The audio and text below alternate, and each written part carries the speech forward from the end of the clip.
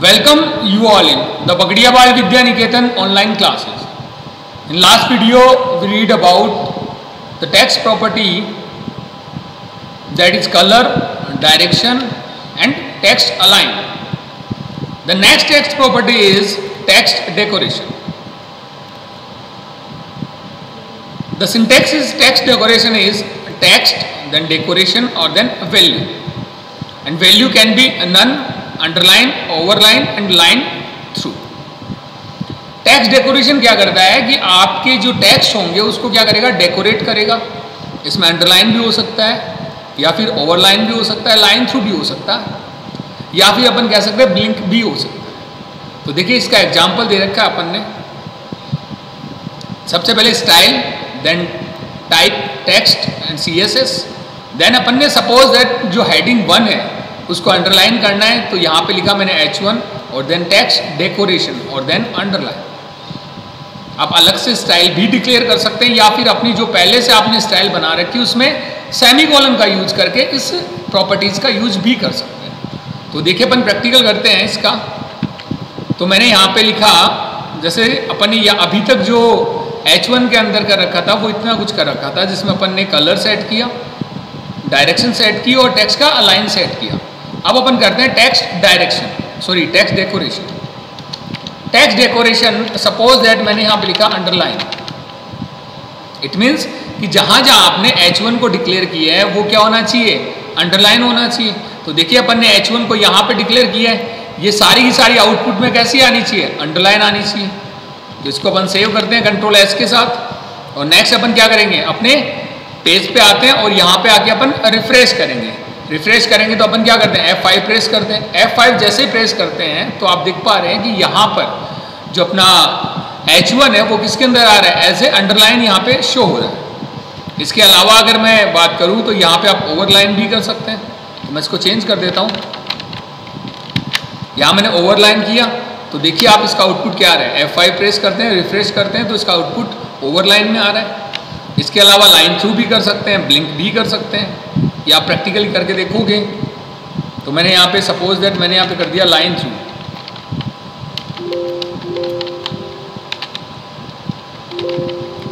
यहाँ मैंने line through किया तो देखिए आउटपुट इसका क्या आ रहा है। थोड़ा इसमें कोई एरर है, वो अपन सही करते हैं। देखिए लाइन थ्रू में अपन क्या करते हैं, यहाँ पे ऐसे लिखते हैं। लिखने का अपना जो सिंटेक्स है, वो लाइन और देन डेस और थ्रू ओके इसको अपन सही करते हैं, ये मैंने किया। ठीक है, इसको मैं सेव करता हूँ। देन आउटपुट अपन देखते हैं रिफ्रेश करते हैं तो अभी आप देख पा रहे हैं ये लाइन थ्रू ऐसे आप ब्लिंक का यूज़ भी कर सकते हैं।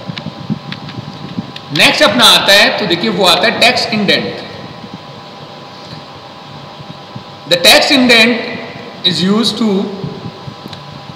set the indent of text of first line it means आप यहाँ पे फ़र्स्ट लाइन का जो इंडेंट है, वो सेट कर सकते हैं। तो देखिए फ़र्स्ट लाइन इंडेंट का यहाँ पे मतलब क्या होगा? पहले मैं आपको सिंटेक्स बता देता हूँ कि आपको लिखना है टेक्स्ट इंडेंट और देन वैल्यू वैल्यू आपकी पिक्सल में भी हो सकती है परसेंटेज में भी हो सकती है। जैसे यहाँ पे मैंने स्टाइल को डिक्लेयर किया style type C S S ठीक है? और देन सबसे पहले मैंने क्या किया? एच वन है। एच वन का इंडेंट मैंने क्या सेट किया है? हंड्रेड पिक्सल तो आप पिक्सल में भी वैल्यू दे सकते हैं, या फिर सपोज़ दैट पैराग्राफ का इंडेंट मैंने सेट किया फिफ्टी परसेंट तो ये क्या होगा? ओनली फ़र्स्ट लाइन का इंडेंट होगा। फ़र्स्ट लाइन में जो स्पेस होगा, वो कितना होगा? जो आपने वैल्यू दी है, उसके अकॉर्डिंग होगा। हो सकता है फिफ्टी परसेंट भी हो हो सकता है जैसे आपने ट्वेंटी परसेंट दिया है, वो भी हो सकता है। तो देखिए, इसका प्रैक्टिकल अपन करते हैं। सपोज़ दैट अपन ने पैराग्राफ जो सेट कर रखा है, देखिए, अपन एक पैराग्राफ यहाँ पे बना रखा है ये। इसका फ़र्स्ट लाइन इंडेंट अपन को सेट करना है तो अपन क्या करेंगे? अपने स्टाइल के अंदर सेट करेंगे। तो स्टाइल अपन ने डिक्लेयर यहाँ पे कर रखी है। मैं यहाँ पे सेमिकोलन का यूज़ करता हूँ, या फिर आप अलग से स्टाइल भी लिख सकते हैं। और यहाँ पे अपन क्या करेंगे, अपना जो फ़र्स्ट लाइन इंडेंट है वो सेट करेंगे। सेट करने के लिए अपन को क्या लिखना है?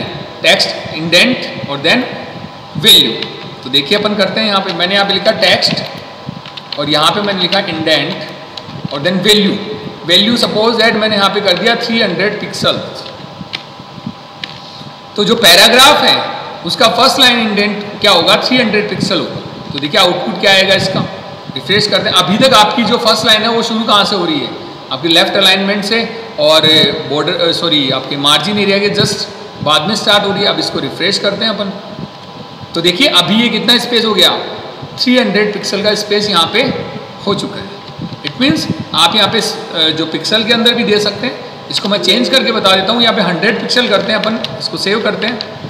पेज पे आगे जैसे रिफ्रेश करते हैं तो देखिए ये 100 पिक्सल का स्पेस है, कम हो गया स्पेस इसके अलावा आप इसमें परसेंटेज का भी यूज़ कर सकते हैं. तो देखिए मैंने यहाँ पे लिखा सपोज़ दैट 20 परसेंट तो ये अकॉर्डिंग टू स्क्रीन है 20 परसेंट है, वो इंडेंट यहाँ पे रखेगा. तो देखिए रिफ्रेश करते हैं. तो ये जो इंडेंट आ रहा है, वो कितना आ रहा है? आपके 20 परसेंट इसको चेंज कर देते हैं 50 परसेंट करते हैं. तो देखिए 50 परसेंट करते हैं तो इसका आउटपुट है, वो चेंज होगा. इंडेंट का जो स्पेस है वो इंक्रीज हो जाएगा तो देखिए रिफ्रेश करता हूँ मैं। तो अभी ये जो स्पेस आ रहा है, वो कितना हो गया? 50 परसेंट स्पेस इसका हो गया है।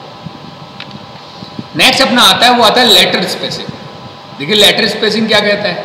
To set the blank space between the letter of a word word के जो लेटर है, उसके बीच में जो स्पेस है, वो आपको अगर इंक्रीज करना है तो अपन क्या यूज़ करते हैं? लेटर स्पेसिंग का यूज़ करते हैं। तो इसका सिंटेक्स क्या कहता है? सबसे पहले आपको लिखना है लेटर देन डेस स्पेसिंग और देन वैल्यू वैल्यू आपकी पिक्सल में अपन दे रहे हैं। तो देखिए, कैसे देना है? जैसे सपोज़ दैट एच वन है। एच वन का अपन को जो लेटर स्पेसिंग है, वो चेंज करना है। तो अपन लिखना है लेटर देन स्पेसिंग और देन वैल्यू तो देखिए, इसका प्रैक्टिकल अपन करते हैं। ये अपना हेड जो हेडिंग वन है, उसमें अपन चेंज करते हैं। यहाँ मैंने लिखा लेटर और देन स्पेसिंग वैल्यू मैंने यहाँ पे दी है suppose that five pixel okay then मैं इसको सेव करता हूँ और देन अपन यहाँ पे रिफ्रेश करेंगे। तो देखिए, अभी तक जो स्पेस आ रहा है, वो बाय डिफ़ॉल्ट स्पेस आ रहा है हेडिंग के अंदर। अब मैं जैसे रिफ्रेश करता हूँ तो फाइव पिक्सल का स्पेस ये ले चुका है हर एक कैरेक्टर के बीच में। इसके अलावा चेंज करना चाहते हैं अपन तो यहाँ पे मैंने सपोज़ दैट यहाँ पे मैंने कर दिया 20 पिक्सल तो देखिए इसका आउटपुट कैसे आता है। मैं रिफ्रेश करता हूँ तो देखिए ये 20 पिक्सल हो गया। अभी जो लेटर के बीच में स्पेस है, वो इंक्रीज हो चुका है। तो ये आपका लेटर स्पेसिंग थैंक यू